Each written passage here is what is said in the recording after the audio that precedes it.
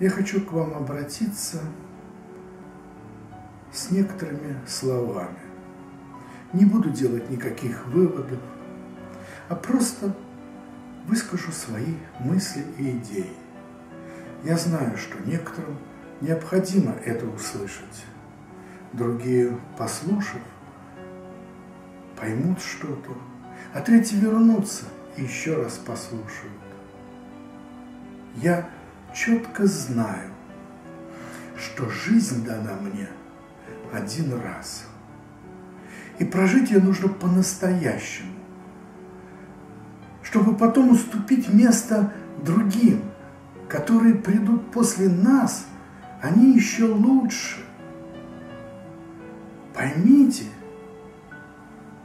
раз мы живем один раз, то мы должны жить с надеждой, что после нас эта цивилизация, эта планета будет процветать и множиться.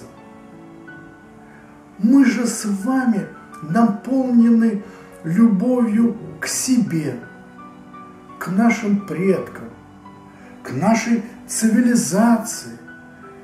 Мы ответственно являемся звеном в этой цивилизации.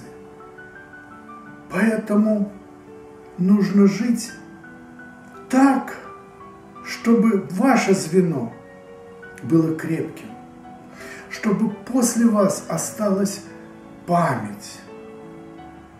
А когда вы живете, вы должны радоваться этой жизни, наслаждаться тем, что свершили до нас наши предки, что сделают мои внуки и внучка, что я, я радуюсь тому, что я могу что-то преодолевать и получать от этого а, удовольствие, что я это смог. Я помню, а вы, наверное, забыли, когда в детстве вы говорили «я сам», «я сам». Почему вы перестали говорить «я сам» и ответственен за свою судьбу сам? Почему вы переносите ответственность на других, на сакральных каких-то мифах? Запомните,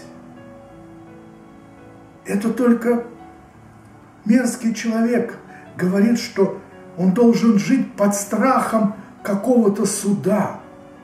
Я живу от радости и наслаждения этого. Да, мы смертные. И, наверное, это хорошо, потому что мы уносим с собой груз ошибок. И это как болезни, которые передаются э, через генетический код, а мы унесли их и оставили только что-то хорошее, яркое, светлое. Потому что люди, которые придут на мое место, они будут говорить, Юрий Николаевич, а был молодец. Я жил ради того, чтобы мое звено было крепким, радостным